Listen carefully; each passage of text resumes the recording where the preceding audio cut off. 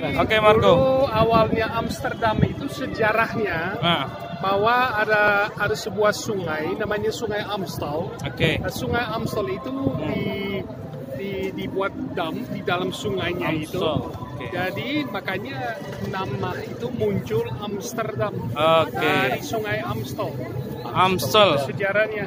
Sejarah awal mula Sejarah Amsterdam. mula. Itu Nama abad Amsterdam. ke-13 Bapak-bapak Abad Ibu-ibu. ke-13. Ah, ah, sudah lama sekali ya. Oke.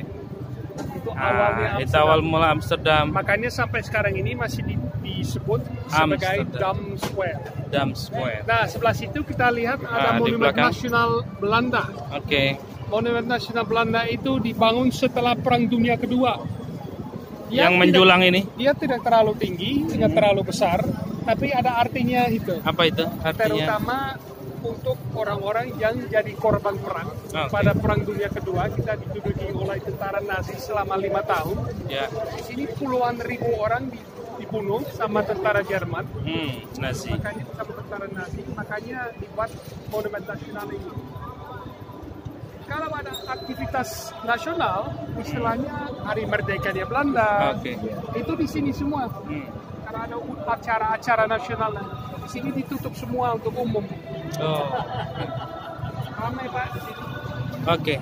Ah, di depan kita ini Ah, Oke. adalah istana raja. Ini ya. Seperti salah satu ya. Nah, Dia banyak is- istana kalau raja. kerajaan di sini banyak istananya. Salah satunya yang depan kita ini. Masih Dia ditempati? nggak dia dia nggak pernah pakai. Cuman Ah. kalau ada kunjungan-kunjungan negara, misalnya presiden Oke. atau raja lain, itu kadang-kadang diundang kemari. Tapi sehari-hari nggak pernah dipakai. Sekarang bagaimana hubungan Jerman dengan Belanda? Apa itu?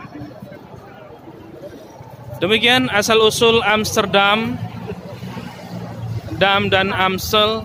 Dam itu adalah bendungan, Amstel itu nama wilayah ini sehingga sampai sekarang nama itu dikenal dengan nama Amsterdam. Di sana ada ini yang saya tunjuk adalah uh, istana raja yang dipakai pada acara-acara tertentu dan monumen ini adalah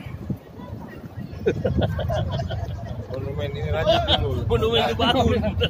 Itu monumen ini. Monumen ini monumen nasional ya. Ya monumen nasional yang dipakai untuk kegiatan-kegiatan kenegaraan. Terima kasih dari Dam atau Amsterdam